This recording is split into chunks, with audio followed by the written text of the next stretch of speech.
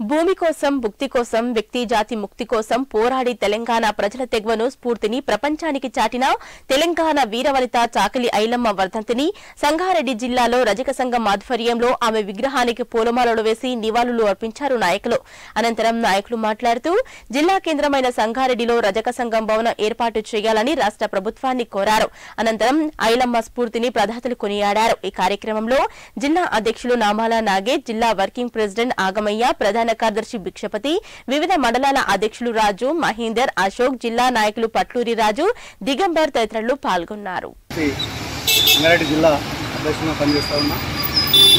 మన వీరనారి చాకలి ఐలమ్మ పోరాట పట్టినందుకు గుర్తించి ప్రభుత్వం ఆలి జయంతి ఉత్సవాలు మాత్రమే జరుపుతామని చెప్పడంతో మరి మేము ఈ వర్ధంతి ఉత్సవాలు మా రాష్ట్ర కమిటీ పిలుపు మేరకు సంగారెడ్డి కలెక్టరేట్ పక్కన ఐలమ్మ విగ్రహం వద్ద చేసుకోవడం జరిగింది. ఎల్లమ్మ గారి ఆశయాలు వర్ధిల్లాలని అదేవిధంగా మనకు ఉమ్మడి ఆంధ్రప్రదేశ్లో ఉన్నప్పుడు రజకులకు ఏం న్యాయం జరగలేదు.